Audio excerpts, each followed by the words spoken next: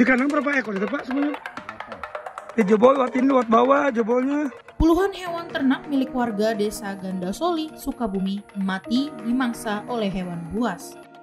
Sekitar 20 hewan ternak warga hilang ketika ditemukan hewan ternak tersebut sudah dalam keadaan rusak.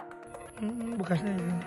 Diketahui, kejadian matinya hewan ternak warga sudah terjadi sejak Agustus lalu. Berarti juga kakinya.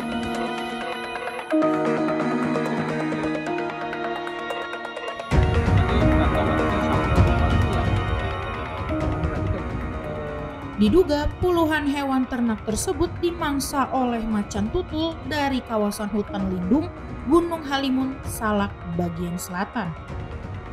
Hewan ternak yang diterkam mengalami kerusakan di bagian leher. Beberapa hewan ternak yang dimakan pun tidak ditemukan karena dibawa ke hutan. Di kanan berapa ekor itu Pak sebenarnya?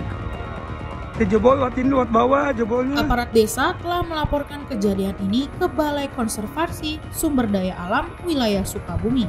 Darahnya besarnya ada juga ya. Bekas kakinya itu. Hmm, bekasnya itu. Laporan dibuat karena masyarakat pinggiran hutan merasa resah dan takut akan memakan korban jiwa.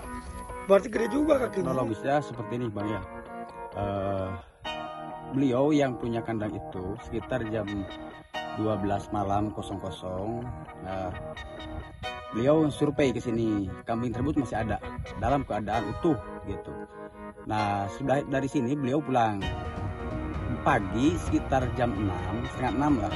Beliau ke sini untuk memberikan makan kambing tersebut. Cuma begitu yang punya melihat kambing tersebut yang dari jumlah 10 ekor itu yang 8 sudah tergeletak ke bawah. Itu sudah keadaan mati. Cuma yang dua itu eh, masih hidup. Walaupun hidupnya itu masih ada luka eh, bekas gigitan dari leher dua-duanya gitu. Nah, udah nyampe ke bawah dieksekusikan. Yang enam itu dibawa ke bawah. Ternyata hasil eh, survei dan hasil kita lihat ke lapangan itu ternyata kambing tersebut memang benar dinyatakan itu dimakan oleh eh, macan tutul tersebut gitu. Karena dari lokasi ini ada beberapa ada barang bukti salah satu eh, ada bekas eh, satu bekas gigitan kedua ada eh, bekas macan tutul tersebut yang ada di tanah itu gitu. Nah Juga kakinya. Untuk mengantisipasi hewan buas, warga desa melakukan ronda malam di setiap lereng hutan lindung. Nanti kata wanita Sabtu pagi ya.